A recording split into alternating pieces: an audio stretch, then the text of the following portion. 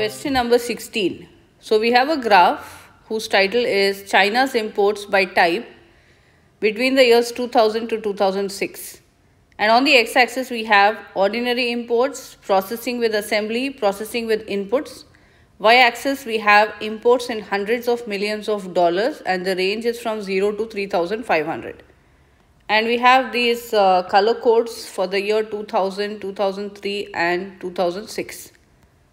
A student is researching the Chinese government's 1992 shift to a market economy that emphasizes trade liberalization.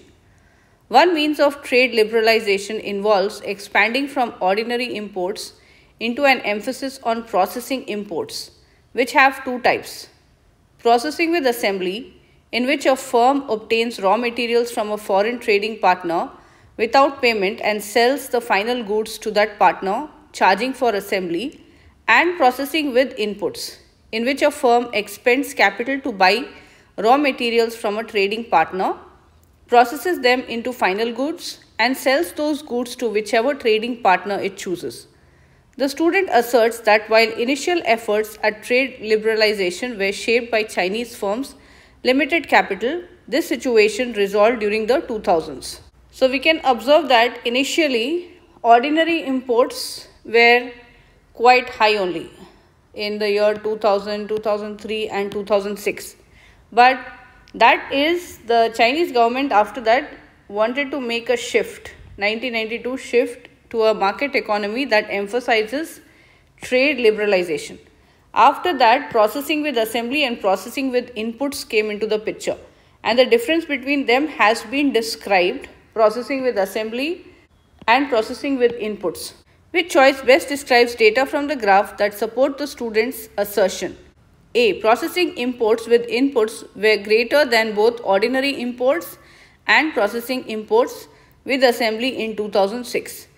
B. From 2000 to 2006, processing imports with inputs rose much more sharply than processing imports with assembly did. C. From 2000 to 2006, neither processing imports with inputs nor processing imports with assembly were greater than ordinary imports. D. Processing imports with assembly were greater in 2006 than processing imports with inputs in 2000. So what is the student's assertion? The student has asserted that while initial efforts at trade liberalization were shaped by the Chinese firm's limited capital, this situation resolved during the 2000s. So initially, they, the Chinese firms did not have money to do the processing with inputs. They had they had little money so they were processing with assembly.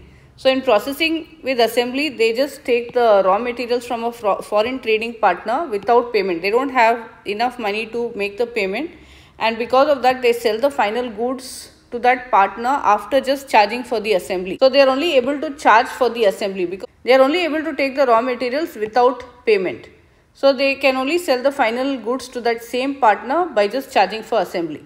Later they started having more enough capital or in other words money so they are able to uh, do the processing with inputs. The firm is able to buy raw material from the trading partner, process them into final goods and then they can choose also. Whoever trading partner they want, they can choose to sell. So that is the difference. So you can see that processing with assembly in 2006, it's quite less. Whereas processing with inputs, they are able to increase slowly. From 2000, 2003, 2006, it has increased considerably, processing with inputs. That means the firms started having money. So if you said B, well done, that is the correct answer. Choice B is the best answer because it describes data from the graph that best support the student's assertion that initial efforts at trade liberalization in China were shaped by firms having limited capital, that is assets available for use, and that this situation resolved during the 2000s.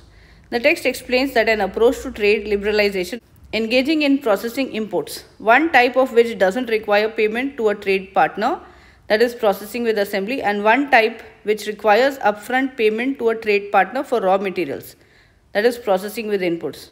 The graph which presents China's imports for ordinary imports and both types of processing imports in the years 2000, 2003 and 2006 shows that while processing imports with assembly rose from, from about 250 hundred million dollars in 2000 to about 7 150 100 million dollars in 2006 in the year 2000 this is between 0 and 500 so that is around 250 100 million dollars in 2000 to about later by 2006 it reached 750 100 million dollars in 2006 then later we will now compare with processing with inputs. Processing with inputs rose much more sharply increasing from approximately 650 100 million dollars. Now here you see in 2000 it is 650 million dollars and in 2000 to about 2300 million dollars then it has become 2300 million dollars by 2006 because processing with inputs requires firms to pay for materials expending capital and processing with assembly doesn't the sharper rise in processing imports with inputs suggests that chinese firms assets and thus their ability to engage in that type of processing imports were relatively limited in and before 2000 and then substantially increased from 2000 to 2006. In other words, the data suggests that the situation of having limited capital resolved during the 2000s.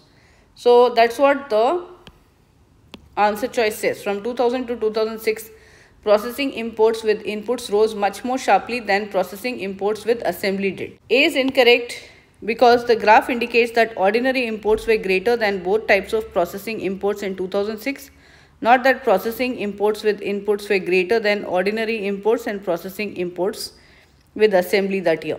Choice C is incorrect because the observation that ordinary imports were greater than both types of processing imports in 2000, 2003 and 2006 doesn't address a change within any type of imports from 2000 to 2006 and an indication of a change in that period might be related to the availability of assets is needed to support the assertion that the situation of having limited capital resolved during the 2000s.